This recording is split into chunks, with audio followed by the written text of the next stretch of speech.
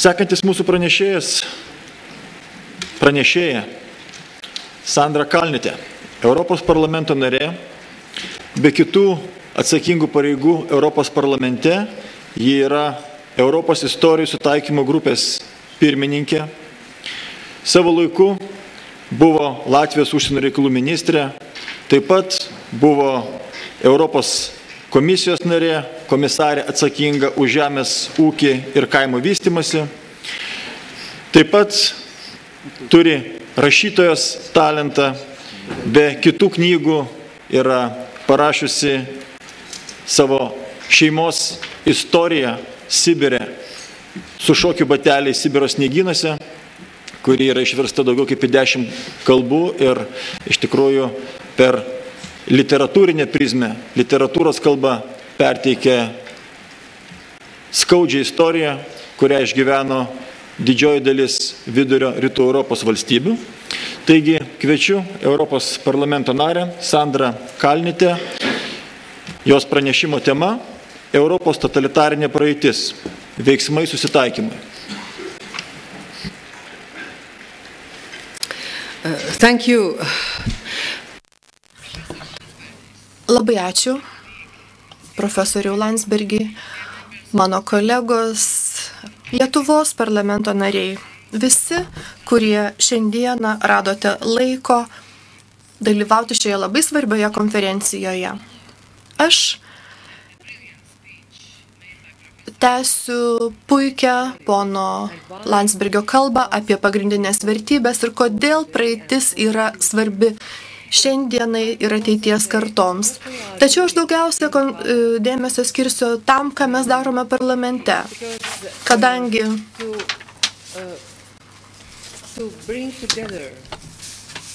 siekiant suburti jaunimą, jį šviesti yra viena iš svarbiausių mūsų užduočių. Tai nėra lengva užduotis, kadangi žvelgiant į žemėlapį, kaip geležinė uždanga buvo padalyjusi Europą, matote, kad prieš daugiau kaip 50 metų Europos istorija buvo rašoma be Rytų Europos ir Baltijos valstybių. Ir šis stereotipas vis dar gyvas. Mes švesime 20 metų gruodžio mėnesį nuo Sovietų sąjungos žlugimo. Tačiau mums būtina diskutuoti su Sąjunga, ar sovietinis totalitarinis komunistinis režimas buvo toks pat sunkus kaip ir nacijų režimas. Ir viena iš problemų šioje platmėje, kurią aš išvelgiu Europoje, kadangi po antrojo pasaulinio karo centrinės ir rytų Europos valstybės buvo izoliuotos nuo likusios Europos dalies bendrosios vertybių ir teisingumo erdvės, jos nedalyvavo atstatant istorinį teisingumą ir jos negalėjo prisidėti prie Europos diskusijų istoriniais, teisiniais ir politiniais klausimais.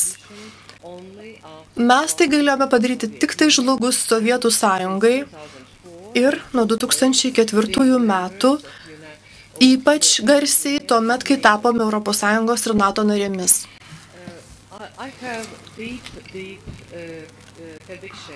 Aš labai giliai įsitikinusi, kad Europa negalės vėl susijungti, jeigu ji nepraves sąžiningų ir išsamių diskusijų dėl totalitarinių režimų nusikaltimų. Kodėl? Todėl, kad dominuojanti vakarų Europos istorinė patirtis, kalbant apie rytų Europą, buvo nacizmas, o vidurio ir rytų Europos šalis patyrė tiek komunizmą, tiek nacizmą, kurie tęsiasi beveik 50 metų. Ir Europa turi pripažinti šį dvigubą totalitarinio režimo, nacizmo ir stalinizmo palikimą, kadangi tai yra bendras palikimas.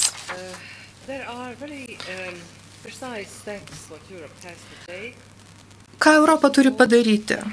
Pirmiausia, Europa turi pripažinti visus šio laikinius Europos šio laikinės Europos istorinius aspektus. Todėl yra būtina pirmiausia suformuluoti bendrą požiūrį į nacizmą ir totalitarinį komunizmą. Aiškiai apibriežti požiūrį totalitarinio komunizmo nusikaltimus užtikrinti, kad toliau būtų tęsiamas išsamus politinių, istorinių ir teisinių aspektų pervertinimas, kalbant apie totalitarinio komunizmo nusikaltimus.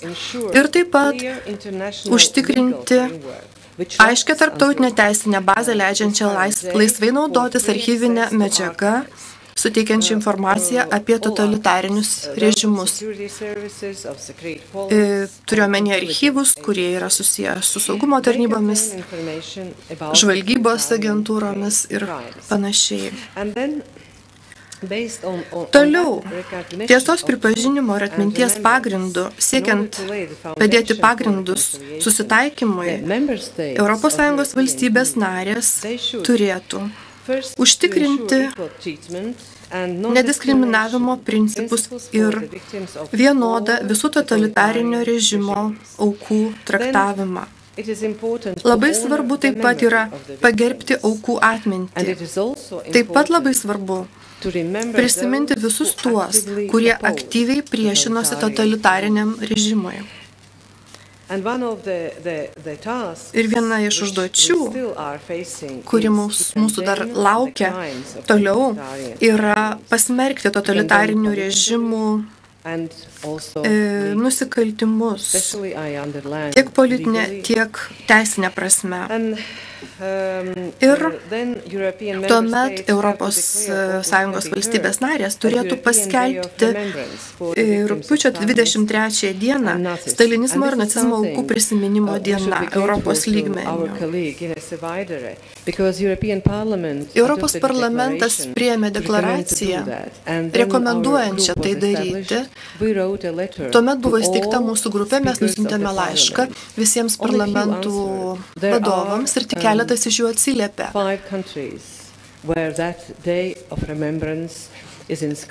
Ir penkiose šalyse ši diena jau yra oficialiai rašyta į įsimintinų dienų kalendorių.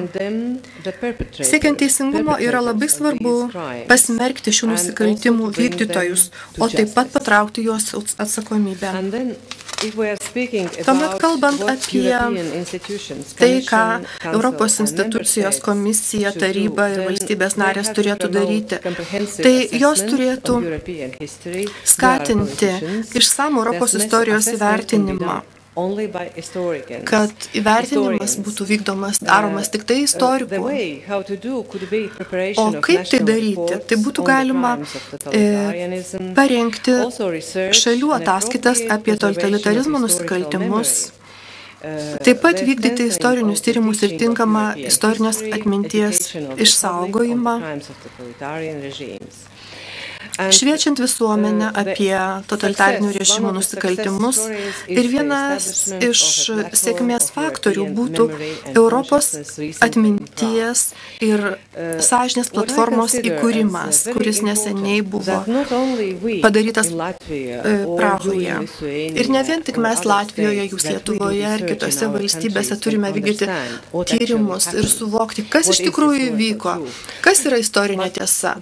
Tačiau labai svarbu svarbu tai, kad mes sukurtume bendradarbiavimo tinklą tarp nacionalinių e, tyrimo institutų, besispecializuojančių totalitarizmo klausimais, kad mes galėtume visi geriau suprasti, kas yra specifiška tik tai mūsų šalims ir kas yra e, apskritai e, tipiška totalitariniam režimui. Kaip simbolinis gestas galėtų būti e, visų totalitarinių režimų aukų memorialo e, atidarimas Briuselėje. Tai yra vieta, kur visos aukos turėtų būti um, prisimintos ir pagerbtos. Ir taip pat aš norėčiau pasiūlyti e, nuolatinio vyriausybinio forumo ar konferencijos totalitarizmo režimų nusikaltimams vertinti įkūrimą. 90, paskutinėme e, praeito amžiaus dešimtmetyje tokia darbo grupė buvo sukurta holokausto e, aukų pripažinimui, vertinimui. ir mums reikėtų to paties dabar komunizmo aukoms prisiminti ir įamžinti. Atsiprašau, pamiršau Jums parodyti keletą skaidrių. Tačiau gal judėkime toliau. Um, uh, uh, Yra keletas svarbių elementų susijusių su Europos komisija, kuri turėtų skatinti studijas ir istorinius tyrimus susijusius su totalitarizmo istorija. Remti institucijas, nevyriausybinės organizacijas, kurios aktyviai dalyvauja e, renkant e, dokumentus stalinizmo režimo nusikaltimams įvertinti. Ir taip pat svarbu pažymėti tai, kad Europos institucijos remia ne vien tik europinius, tačiau ir nacionalinius masto projektus e, susijusius su tyrimais ir švietimu. Visą tai gali duoti Europos gyventojams daugiau supratimo negu šimtai šimtai konferencijų, seminarų, sakykime, kaip ir ši, ši konferencija, kurioje mes visi dalyvaujame šiandieną. Čia jūs matote visų dokumentų, kurie buvo priimti įvairiomis, įvairiomis Europos institucijomis, institucijose. Juos visus galima rasti Europos institucijų svetainėse ir aš tikiuosi, kad jūs gavote medžiagą, mano prezentaciją. Aš norėčiau sustoti prie labai svarbaus nutarimo, kuris buvo priimtas 2008 metų lapkričio mėnesį, kadangi Baltijos Baltijos valstybės ir Lenkija reikalavo, kad diskusijų metu dėl tarybos pamatinio sprendimo dėl tam tikrų racizmo ir ksenofobijos formų ir apraiškų baudžiamosios teisės priemonėmis bus taip pat nuoroda į stalinizmo nusikaltimus. Ir tuo metu mūsų šalis buvo kritikuojamos Europos žiniasklaidos priemonių, kaltinamos, kad mes norime sugriauti bendrą europinį požiūrį, tačiau mes visi, visos buvome gan tvirtos. ir galiausiai taryba priėmė labai svarbų dokumentą kviečianti komisiją ištirti ir raportuoti komisiją reikalingos papildomos priemonės užtikrinti, kad nebūtų paneigiami ar ženkliai nuvertinami e, genocido nusikaltimai, nusikaltimai žmoniškumui ir karo nusikaltimai nukreipti prieš asmenų grupę, apibrėžiama kitais kriterijais, o ne rasės, religijos, spalvos panašiai, arba etinės prigimties, tokios kaip socialinis statusas ar politiniai įsitikinimai. Vėliau aš grįšiu prie ataskaitos, kuri buvo pateikta komisijos. Aš pra, šoksiu keletą dokumentų ir daugiau norėčiau pakalbėti apie patį svarbiausią dokumentą, kurį aš labai rekomenduoju visiems. Ir tai yra Europos parlamento rezoliucija apie Europos sąžinę ir totalitarizmą. Aš žinau, kad profesorius Landsbergis ir mano kolegė Vaiderė yra prisidėję prie šio dokumento. ir šis dokumentas buvo priimtas didžiąją Europos parlamento daugumą ir tik tai apie 43 Europos parlamento nariai e, balsavo prieš ar susilaikė. Ir tai yra iš tikrųjų nuostabus dokumentas, kuris suteikia politinę formą visiems Europos institucijos, institucijų veiksmams, kurie turėtų būti padaryti. Ir kaip aš minėjau, e, Europos tarybos ataskaita apie totalitarinių režimų Europoje vykdytus nusikaltimus. Taigi ataskaita konstatuoja, kad nacionaliniai įstatymai neleidžia patraukti atsakomybę europinių lygių totalitarinių komun, komunizmo režimų nusikaltimų vykdytojų. O tokia sistema egzistuoja tik penkiose valstybėse narėse iš dalies Latvijoje, pilnai Lietuvoje. Ir dabar Vengrijoje taip pat buvo priimti tam tikri įstatymai. Tačiau svarbu yra pasakyti tai, kad ši, ataskaita daugiausia dėmesio skiria dviems aspektams - atminčiai ir finansinėms programoms programoms, kurios galėtų uh, būti e, naudingos atliekant tyrimus, informaciją ir mainus. Ir šio dokumento pagrindu Europos vadovų taryba parengė išvadas, kurios iki šiol yra pats svarbiausias, rimčiausias dokumentas, kadangi dėl jo susitarė visas valstybės narės. Ir jis pateikia e, veiksmų planą valstybėms narėms ir europinėms institucijoms. Ir pabaigai norėčiau pakalbėti truputėlį apie e, neformalią Europos parlamento narių grupę, kurią sudaro 39 politikai, kuri buvo įkurta 2010 metais Europos parlamente. Ši grupė savo misiją laiko suburti, apjungti skirtingus požiūrius į istoriją, 20 amžiaus istoriją Europoje, atskleisti tiesą, kas iš tikrųjų vyko už geležinės uždangos ir dirbti su europinėmis institucijomis, siekiant supaprastinti visus projektus ir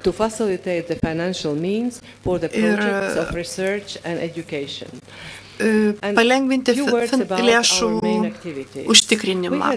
Šiek tiek apie mūsų grupės veiklą. Mes turėjome du svarbius svarstymus pastarojų metu. Pirmasis buvo ką jauni europiečiai turi žinoti apie totalitarizmą. Ir antrasis, e, kuris remiasi komisijos ataskaita, apie kurią aš jau minėjau, yra e, totalitarinių režimų atminties e, įamžinimas. Mes taip pat labai aktyviai remiame Europos atminties ir sąžinės platformos įkūrimą Taip pat mes atidžiai sekame, kasgi yra pateikiama žiniasklaidoje istorinės atminties klausimais. Mes pateikiame savo pareiškimus, kadangi Europoje mes turime dažnai e, projektų pastatyti, sakykime, paminklą Mao arba Leninui 20, 20 amžiaus figūrų kultūroms. Toliau, ką mes planuojame ateityje, tai yra svarstymas pavadinimu gyvenimas po Sovietų sąjungos ir taip pat diskusija dėl Europos sąjungos gairių dėl archyvų. Ir visą informaciją jūs galite rasti mūsų svetainėje. Kalbant apie archyvus, labai svarbu, kad jie būtų prieinami visiems suinteresuotiems asmenims ir kad nebūtų E, išplėštas nei vienas svarbus puslapis iš svarbios informacijos. E, apie mūsų grupės veiklą jūs galite rasti informaciją svetainėje, kurią matote skaidrėje www.euroreconciliation.eu. Ačiū labai uždėmesi.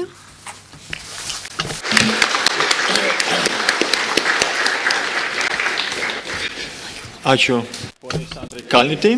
E, dabar sekantis mūsų pranešimas, sekanti pranešėja Inesa Vaiderė, taip pat Latvijos Europos parlamento narė, europarlamentarė.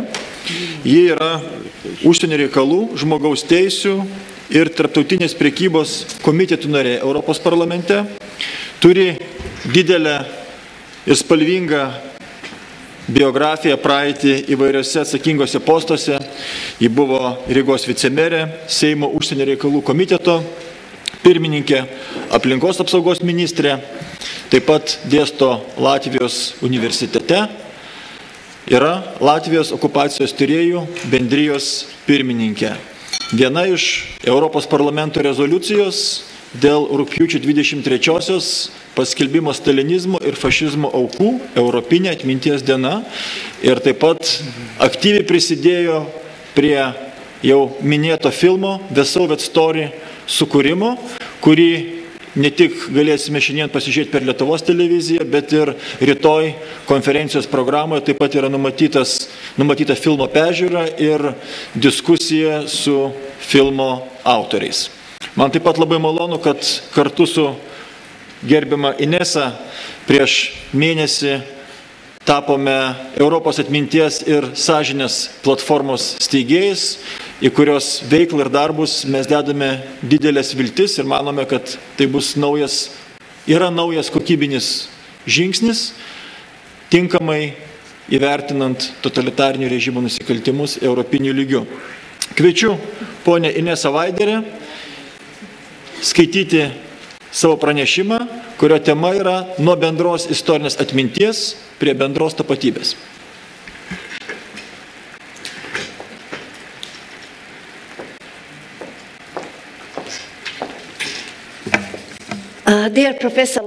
Profesoriau Landsbergi, kolegos, ponios ir ponai, uh, Man padarė didžiulį įspūdį puikus mano kolegų pranešimai, ypač Landsbergio ir ponios Kalnietės pranešimai. Mes toje pačioje politinėje grupėje esame. Mano artimiausias draugas e, Europos parlamente yra profesorius Landsbergis. Mūsų požiūris į šiandienos temas yra praktiškai toks pat vienodas. Ponios Andrkalnietė pranešimas buvo toks įsavimantis, kad man reikės rasti naujų aspektų, apie kuriuos norėčiau pakalbėti ir todėl kalbėsiu apie kitus dalykus. Garsus vokiečių filosofas Hegelis pasakė, kad be Atminties nėra istorijos.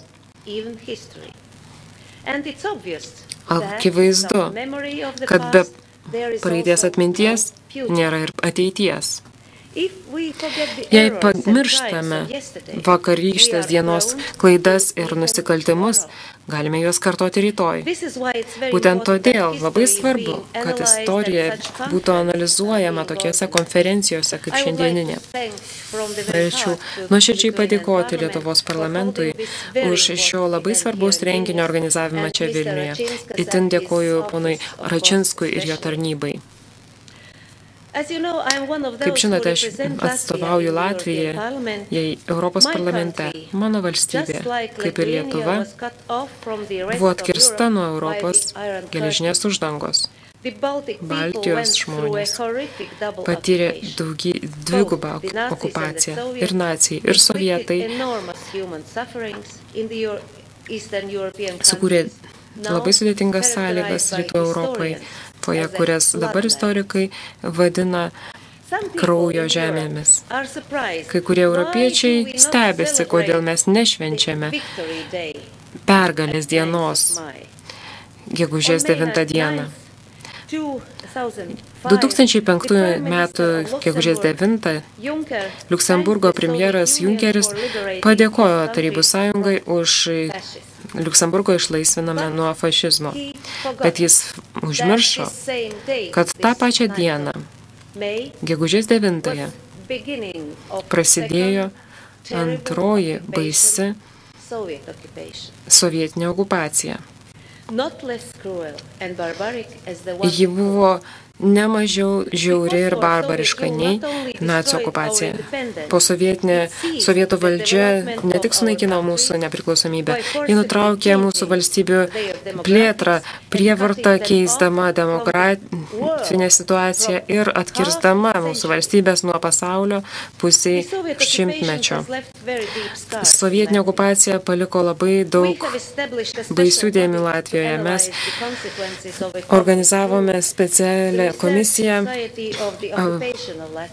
vadiname Latvijos okupacijos tyrimų bendryje, kuri nagrinėja komunistinio režimo nusikaltimus. Aš pirmininkauju šią organizaciją, kurioje dalyvauja ir istorikai, ir teisininkai, ekonomistai, mokslininkai ir akademikai. Mūsų tikslas - ištirti totalitarinio režimo pasiekmes ir siekti skatinti ir teisės tų žmonių, kurie nukentėjo užsienio šalies okupacijos laikotarpiu. Mūsų organizacija analizuoja pasiekmes, kurias patyrė mūsų valstybė. Tai ir žmogiškieji, ir materialiniai nuostoliai. Mūsų ekspertai sukūrė metodologiją įvertinti Sovietų sąjungos okupacijos poveikį Latvijoje. Būtent todėl šį metą birželį organizavau kartu su kitais kolegomis Labai su, sėkminga tarptautinė konferencija socialinė, ekonominė ir aplinkosauginė žala Sovietų sąjungos padaryta Baltijos valstybėms. Šiame renginyje dalyvavo Europos parlamento nariai iš įvairiausių šalių, įskaitant Arūną Bubnį ir Borisą Sokolovą. Mes parengėme daug visokiausių dokumentų ir džiaugiamės, kad komisija paskelbė mūsų renginio išvadas. Be abejo, totalitarinio režimo okupacijos nuostolių įvertinimas yra labai sudėtingas, praktiškai neįmanomas įvykdyti uždavinys. Kiekvienas asmuo yra be kainis. Jokia metodologija negali įvertinti, kiek kainuoja negimęs naujagimis. из Сибиря. Bet galbūt viso, visa, viso pasaulio statistikoje tai nereikšmingas vien skaičius, bet motinai yra vis, tai viskas. Žmonių praradimai ir kančios yra tragiškiausia totalitarizmo pasiekmė. 20-ojo amžiaus pradžioje Latvijos gyventojų skaičius buvo didesnis nei Norvegijos gyventojų skaičius. Šiandien jis dvigubai mažesnis. Deportacijos, persekiojimas sukėlė didelį riziką mūsų tautos išgyvenimui. Tarybinė sistema taip pat pagė, mėgino pakeisti mūsų piliečių mąstymą. 50 metų žmonės turėjo mąstyti vieną, bet daryti ką kitą. Tai buvo šizofreniška sistema, labai primenanti Orvelio knygą Gyvulių ūkis. Sovietinė okupacija taip pat turėjo didžiulį poveikį ekonomikai. Latvija praktiškai buvo dingusi iš pasaulio ekonominio žemėlapio. Tarp 1935-25 ir 34 mūsų BVP buvo toks pat kaip Suomijos ir Austrijos. Jis buvo vienas iš aukščiausių Europoje. Mūsų žemės ūkio sektorius buvo ženkliai geriau išvystytas nei Prancūzijos. Tarybinė kolektyvizacija Visą tai sunaikino ir Latvijos ūkininkai tapo valstybiniai vergai. Tarybinės okupacijos laikotarpį visi eksporto keliai ir verslo ryšiai, kuriuos Latvija per trumpuosius nepriklausomybės laikos metus buvo sukūrusi, buvo panaikinti. 50 metų Latvija buvo kolonija tarnavusi ekonominėms Kremliaus poreikiams. Dėl to pablogėjo ūkiniai rodikliai. 75-aisiais mūsų BVP sumažėjo iki 45 procentų lyginant su Suomijos rodikliais. Manoma, kad Sovietinė sąjunga padarė didžiulę investiciją į Latvijos ūkį, tačiau tai yra mitas. Mūsų mokslininkai ištyrė visą tai labai nuosekliai ir padarė išvadą, kad sovietų investicijos į Latviją buvo procengai net mažesnės nei į kitas e, Sovietų sąjungos Respublikos Latvija buvo išnaudojama kaip kolonija. Tai vienintelis teisingiausias būdas apibriežti sovietinės sovietinės okupacijos ekonominiai situacijai. Dramatiškiausias il, ilgalaikis poveikis kurį patyrė Latvija po Sovietų sąjungos valdžios, yra kolonizacija ir rusifikacija. Priminsiu, kad 83-aisiais Europos parlamentas priėmė rezoliuciją, kurioje siūloma perduoti Baltijos valstybių klausimą Junktinių tautų dekolonizacijos pakomitečiui. Vėliau šiandien dr. Klumbys dar pasakos apie Lietuvos rusifikaciją. Savo ruoštų aš turiu pasakyti, kad Estija ir ypač Latvija buvo itin paveiktos sovietinės etninės inžinerijos programos. Šio reiškinio pasiekmes jaučiame ir šiandien. Prieš sovietų okupaciją 1940-aisiais buvo Latvijoje 8 procentai rusų. 80 procentų Latvių. 89-aisiais okupacijai besibaigiant rusų gyventojų skaičius Latvijoje padidėjo iki 50 procentų, įskaitant rusifikuotas mažumas, kurios taip pat vadinamos rusų kalba kalbančiomis mažumomis. 91 metais dauguma jų nubalsavo prieš Latvijos nepriklausomybę referendumo metu. Latvija neturi ir niekad neturėjo problemų su nacionalinėmis mažomis, tačiau mums iššūkį kelia demografinės ir politinės sovietų okupacijos pasiekmės.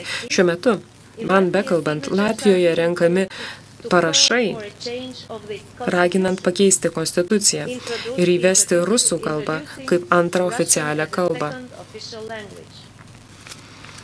Apytikrai šimtas tūkstančių naujų piliečių jau pasirašė šį prašymą. Akivaizdu, kad jeigu jis bus priimtas, rusų kalba bus priimta kaip oficiali kalba, antroji kalba Latvijoje, ir dėl to bus pakengta Latvijos, Latvių kalbos pozicijoms ir Latvijos kaip europinės valstybės egzistencija bus abejotina. Šios e, tendencijos yra tiesioginės sovietų okupacijos rezultatas ir, fa, ir e, matome, kad neteisingai sprendžiamos pasiekmes paliktos e, sovietų okupacijos. Rusija manipuliuoja savo rusakalbiais Latvijos gyventojais. Tai didžiulis akibrokštas ir trukdo mūsų integra jų integracijai. Tačiau rusų, lenkų, ukrainiečių ir kitų mažumų atstovai gyvenantis Latvijoje yra taip pat skaitlingi, kurie moka latvių kalbą ir vertina Latvių kultūrą ir tradicijas. Europos parlamentas paragino Rusiją pripažinti Baltijos valstybių okupaciją. Tačiau šio prašymo Rusija ne, neįvykdė. Priešingai, manom, matome, kad Rusija teigiamai nušviečia sovietinę praeitį ir pateisina sovietinius nusikaltimus. Deja, daugelis žmonių Rusijoje vis dar mano, kad Baltijos valstybės priklauso Rusijos kultūrinė erdvė ir kad jų nepriklausomybė yra tik tai laikinas reiškinys. Nepamirškime, kad prieš 72 metus, tą pačią dieną kaip ir šiandien, 28 lapkričio dieną, sovietų vyriausybė atmetė nepuolimo sutartį, kurią buvo pasirašysi su Suomija ir okupavo Suomiją.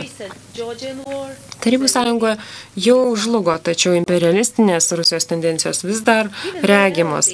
Ir tą patį mums rodo neseniai įvykęs Gruzijos karas realija rodo, kad Europa yra vieninga ne tik ūkiniu, bet kultūriniu ir istoriniu aspektu. Mes turime bendras europinės vertybės laisvę ir demokratiją.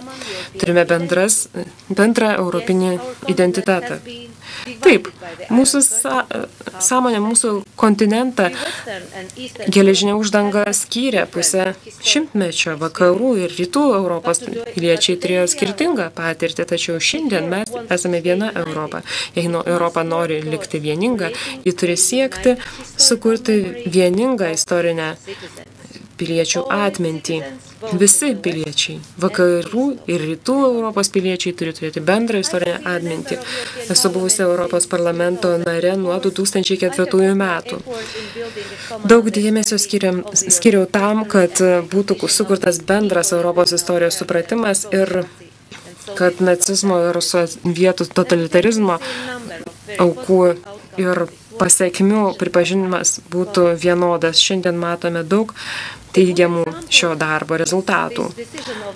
Vienas iš jų pavyzdžių yra Europos parlamento sprendimas paskelbti rūpiučio 23 dieną Europos stalinizmo ir nacizmo aukų atminties diena. Kaip minėjo Sandra, jei Tik penkios valstybės paminėjo šį faktą savo nacionaliniuose įstatymuose. Tai vis vien yra Europinė diena ir Europa tai turi atsiminti. 2008 metais įtikino Europos parlamentą paremti dokumentinio filmo The Soviet Story sukūrimą nuo savo premjeros Briuselėje. Šis e, filmas sukėlė didžiulį renesansą visame pasaulyje. Jis išverstas į 30 kalbų ir, kalbų ir parodytas per televiziją įvairiose Azijos ir Šiaurės Amerikos e, šalyse. Rusijoje filmas sukėlė isterišką reakciją. Kremlių remiantis jaunimas sudegino režisieriaus iškamšą prie Latvijos ambasados. Džiaugiuosi ir didžiuojuosi tuo, kad šiandien režisierius ponas Edvirs Šnuorė dalyvauja šioje konferencijoje. Galiu pasakyti ir daugiau. Jo darbas padarytas, kuriant šį filmą, buvo puikus. Esu įstikinusi, kad dar turėsite pas, galimybę pasikalbėti su juo ir pasakyti gerų žodžių apie šį filmą. Pasak žurnalo The Economist, filmos e, Sovietų istorija, The Soviet Story, yra galingiausias priešnuodis, padedantis gydinti Filme filmas yra Europos dokumentikos proveržis, prisidedantis keičiant europiečių požiūrį į istoriją. Aš šiandien džiaugiuosi, kad šį vakar šis filmas bus rodomas per Lietuvos Respublikos nacionalinę televiziją jau trečią kartą. Komunizmo palikimas yra skausmingas. Tai tragiškas kiekvienos tautos istorijos puslapis toms valstybėms, kurios patyrė komunizmo eksperimentą. Iki šiol sovietiniai nusikaltimai ir už juos atsakingi asmenys nepatraukti baudžiamojo atsakomybė.